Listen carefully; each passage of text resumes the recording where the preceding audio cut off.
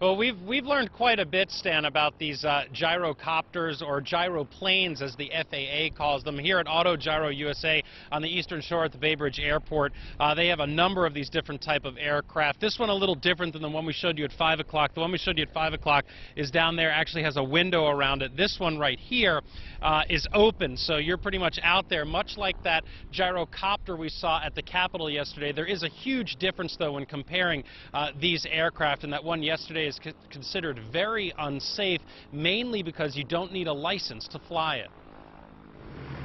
Out at Bay Bridge Airport, the phone has been ringing off the hook at Auto Gyro USA after 61-year-old Doug Hughes landed a self-made gyrocopter on the Capitol lawn Wednesday. It was built in someone's garage.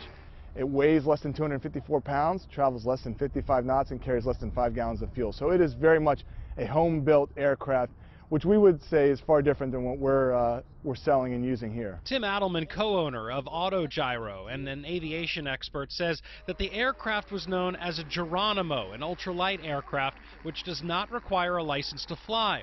They are also far different than the gyro planes that Adelman sells.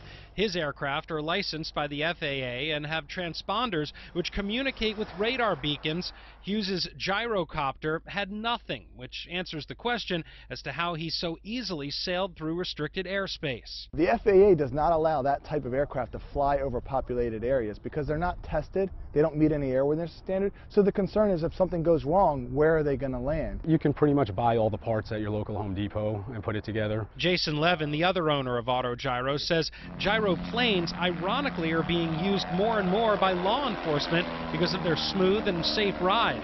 What's interesting is the aircraft themselves are actually powered by a 100 horsepower engine in the back with only wind powering the blade on the top. Once the, the uh, power starts, there's a pre-rotation power that gets to the blade, so there's no power actually getting to the rotor blade. Uh, that'll get it up to about 200 RPM, and once forward motion is going, it's the relative wind that's taking over to keep the blade spinning. Aviation experts say it's actually surprising that we don't see more incidents like we saw yesterday involving homemade aircraft, considering you don't need much training to fly them. If you'd like more information on gyrocopters and gyroplanes like the one behind me there, we've got some links on our website, WBALTV.com. We're live at the Bay Bridge Airport tonight. I'm Lowell Melser, WBAL TV 11 News.